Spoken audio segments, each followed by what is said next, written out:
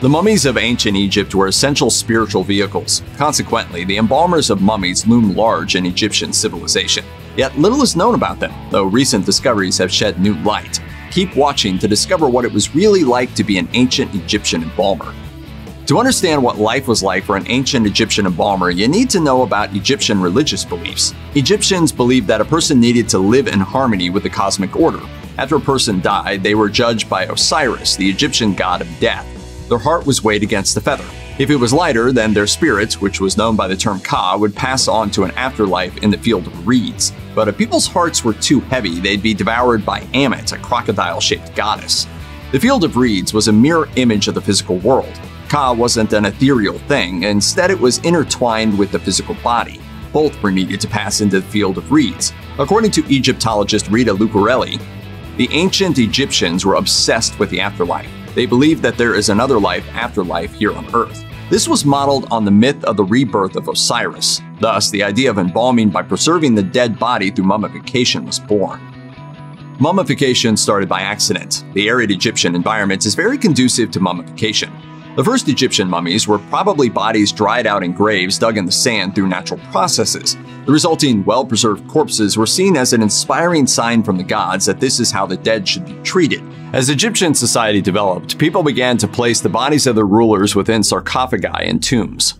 However, bodies don't preserve as well in tombs as they do in dry desert sands, so embalmers had to develop the techniques they needed for mummification. By about 2600 BC, Egyptians probably started to embalm the dead on purpose. This practice began with royalty and continued for over two millennia. Egyptian pharaohs were considered to be divinely appointed and acted as the intermediary of the gods. For the embalmers, this meant that their work was a sacred act, so their job associated them with the priesthood and granted them high status. The exact details of how Egyptian embalmers mummified the dead is a trade secret that's still being pieced together by archaeologists. There aren't any existing Egyptian technical manuals on the subject, though the ancient Greeks did write about it. The first account is by Herodotus, who wrote about embalmers in 430 BC in his histories. Embalmers first needed to remove the internal organs, which easily decayed. The process began by taking the body to a temporary building where the embalmers took an iron hook, inserted it up into the cadaver's nostril, and penetrated the brain cavity. A good embalmer tried very hard not to break the nose, though sometimes it was unavoidable. Once done, the hook was used to swirl around the gray matter and extract it. The brain bits were discarded since the Egyptians believed that the brain was useless. If I only had a brain. Instead, they believed that the heart was the source of a person's individuality, including their intelligence, wisdom, and personality. According to Grafton Elliott Smith and Warren R. Dawson's classic account of embalming, after the brain was tossed out, work on the body proper began. A scribe marked where to cut an opening on the corpse's side. Cutters or slitters did this work with an obsidian knife. Then the lungs, liver, intestines, and all other organs except the kidneys and heart were removed. These cutters were actually not embalmers since the work they did was considered desecration. They were of much lower status, and after they finished their work, they fled the scene having objects and curses hurled at them as a matter of ceremony. The embalmers then began the preservation process. They removed the remaining organs and cleared out the body cavity and washed the body out with substances including palm wine. Then, in order to counter any odor from putrefaction, they applied liberal amounts of aromatics such as myrrh and cinnamon. Meanwhile, organs that had been removed were washed with palm wine and placed in jars for preservation. When all was done, the heart was placed back inside the body, as the dead needed their hearts for when Osiris judged them. In later years, the heart was replaced with a scarab, symbolizing Osiris's rebirth. Meanwhile, the kidneys, which were considered unimportant, were most likely left inside the body. After the organ removal, the embalmers would dry the corpse with natron, a form of naturally occurring salt that the Egyptians harvested from lake beds. Embalmers would both bury the body with natron and insert packets of it inside the body cavity. Ideally, the corpse sat like this for 40 days. After that period, the embalmers took the body, washed it, and removed the salt packets. The resulting body was dried out but otherwise recognizable. To improve its appearance, the embalmers would occasionally fill the inside with rags or straw to puff out sunken areas. They even added false eyes, sometimes using onions. The embalmers then entered the last stage of the work, spending about 30 days dressing the body. They applied sticky resin to the body and wrapped it with hundreds of yards of linen bandages. They occasionally stopped either to insert a protective amulet or to recite a chant. Then, after a little more than two months of work, the mummy was complete. All that was left was the opening of the mouth ceremony, in which the mummy was placed into a standing position and symbolically reanimated for the afterlife. It's alive! It's alive! It's alive!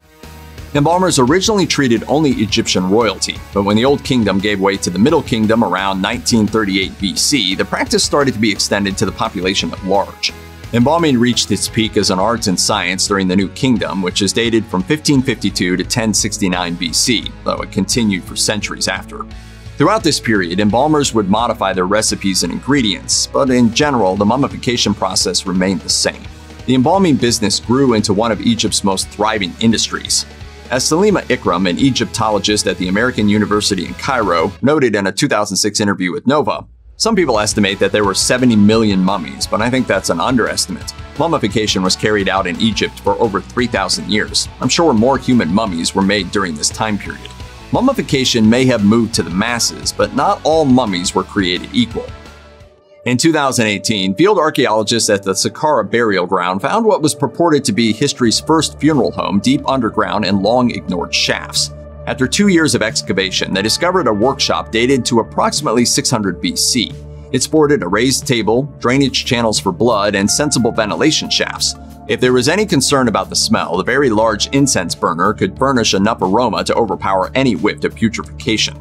Furthermore, the archaeologists found considerable amounts of pottery shards as well as oils that were used in the embalming process. When reconstructed, Egyptologists saw that they were labeled with ingredients and instructions that provided clues as to what ingredients the embalmers were using to prepare the mummies. All of this adds to our knowledge of ancient Egyptian society. While there is a significant amount of written and even artistic evidence of embalming, there had been little archaeological evidence prior to this discovery. While Egyptian royalty and the richest in society could afford the full embalming treatments, those of lesser means needed to find a more middling vehicle to pass into the afterlife. This was no problem for the embalmers who offered a menu of options that a dead person's relatives could choose from. The process started with the deceased next of kin being presented with model mummies, each of different quality. The bereaved needed to select a tasteful yet affordable plan. According to Herodotus, there were three basic plans. There was the full royal treatment, then there was the middle class option, which consisted of injecting cedar oil into the body cavity with natron. This dissolved the organs, which were then purged. A low income person could resort to a simple purge followed by the natron treatment before the body was returned to the next of kin. Herodotus' account holds up to archaeological findings, as some mummies were buried in private while others were buried in shared chambers. According to National Geographic, the embalmers also provided ongoing services in a priestly capacity, such as caring for the soul of the deceased. Literally hundreds of bodies could be housed within their tombs. The family of the mummified were then responsible for bringing cash donations to keep their lost kin in good graces. Embalmers also had a flourishing business mummifying animals. Since the afterlife was considered to be just like the living world, Egyptians expected to have all the necessary materials for a rewarding post-life. This included animals, which could be used as food, sacrificed to the gods, or as pets. Cats, ibises, crocodiles, dogs, hawks, and snakes were all among the animals that were mummified. Why did it have to be snakes? One section of the Saqqara burial ground contains an estimated 8 million mummified dogs and 4 million ibises in a neighboring area. These were not pets, but instead votive offerings to the gods Anubis and Thoth. It isn't clear if the embalmers themselves were engaged in the procurement of these animals or if they were just doing the embalming. Nevertheless, there was money to be made in this practice. As noted by Nature, the animal mummification industry required high production volumes, necessitating significant infrastructure, resources, and staffing of farms that reared animals for mummification and subsequent sale. Dedicated keepers were employed to breed the animals, while other animals were imported or gathered from the wild. Temple priests killed and embalmed the animals so they were made suitable as offerings to the gods. Ka may last forever, the embalming business in Egypt did not. It's unclear when exactly the practice of embalming ended, but it's believed to be connected to the rise of Christianity. As Egyptians converted to Christianity between the 4th and 7th centuries AD, the demand for mummification dwindled. Although it's worth noting that early Christians in Egypt did accept mummification to some degree until it faded away. And so the embalming craft of ancient Egypt became lost to history and is now being pieced together by archaeologists. In the embalmer's 3,000 year history, it's estimated that they created at least 70 million mummies, as well as millions of mummified animals. Sadly, most of the legacy of ancient Egypt's embalmers has been lost to posterity due to cannibalism and Victorian era Gothic parties. Over the centuries, mummies were taken from their tombs for use as medicine. These remains were used as a snake oil treatment for a variety of ailments. One 18th century medical treatise lists mummy remains for use as a blood thinner, a cough suppressant, a painkiller, and even a menstrual aid. There were also rumors that mummies were used for fuel for steam locomotives and fertilizer, though neither of these claims seems to have a basis in fact. But it is true that mummy remains were used as a paint pigment, and that British Victorians held mummy unwrapping parties. The trend actually started in 1698 with a French consul in Cairo, and by the 19th century, British Victorians were wild for unwrapping mummies. These public dissections actually humanized the ancient Egyptians for many people and provided knowledge about what they were like as individuals. Ultimately, though, it was the embalmers who knew their clients intimately as they transported them to the field of reeds.